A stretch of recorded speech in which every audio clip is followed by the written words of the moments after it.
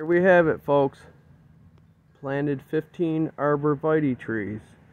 They'll grow about 12 feet. Trimmed all the tops so they're all even. They came out great. Very nice.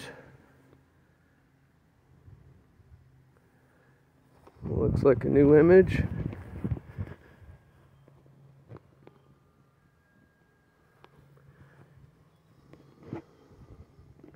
Let's go. See, I watered the hole before I planted them, so they had plenty of water.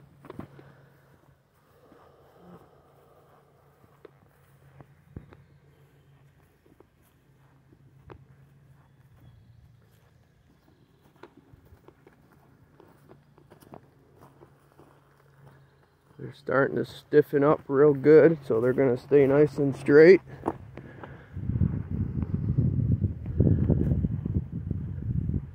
So comment, like, and subscribe, and catch you on the next one soon.